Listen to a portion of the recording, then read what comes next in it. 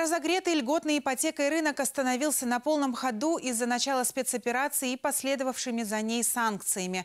Ключевая ставка выросла до 20%, а впоследствии снизилась до 9,5%. Вслед за этим стала дешеветь ипотека. Более того, снизилась ставка и по льготным программам с 9% до 7 годовых. Как изменятся цены на недвижимость в нынешних реалиях? Стоит ли сейчас покупать или продавать недвижимость? И что лучше, новостройка или старая добрая вторичная жилье? Ответы на эти вопросы в следующем сюжете.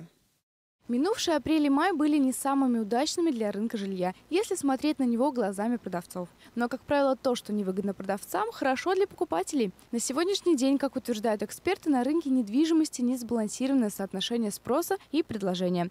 Спрос на объект недвижимости с марта месяца сокращался. Получается ограниченный спрос при растущем предложении. Такая тенденция связана не только с политическим настроением в стране, но и с высокими ипотечными кредитами с апреля по май. Поэтому на сегодняшний момент эксперты констатируют реальное снижение стоимости жилья.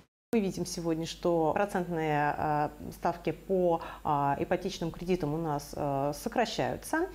И вполне вероятно, что ближе к осени мы увидим уже прям противоположную тенденцию, то есть спрос будет у нас увеличиваться, что и повлечет за собой и рост цен на недвижимость. Поэтому, если есть такое желание, то объекты недвижимости – одно из таких вот фундаментальных объектов инвестирования в нашей стране. Таким образом, все эксперты однозначно советуют не ждать и по возможности, и, конечно, по потребности покупать жилье именно сейчас, пока спрос на жилье не такой большой. Если же подождать, ставка на ипотеке может не снизиться, но самые интересные варианты уже разберут. Поэтому стратегия ожидания сейчас принесет скорее проигрыш потенциальному покупателю. Но на воздухе у россиян все равно стоит главный вопрос – что лучше ли покупки – новостройка или вторичное жилье? И у новостройки, и у вторички есть свои и плюсы, и минусы. Новостройка может немножко дороже стоить, Зато там все лучше с коммуникациями, может быть что-то лучше с инфраструктурой, если дом расположен э, в нормальном месте. Э, более комфортные планировки, но, опять же говорю, при этом цена дороже, чем вторички. Мы решили поинтересоваться у жителей Верхневолжья, какое жилье для покупки лучше всего. Лучше вообще ничего не покупать. Как у нас давали жилье бесплатно в Советском Союзе. Я склоняюсь, что вторичное лучше, оно крепче и надежнее. У меня новостройка.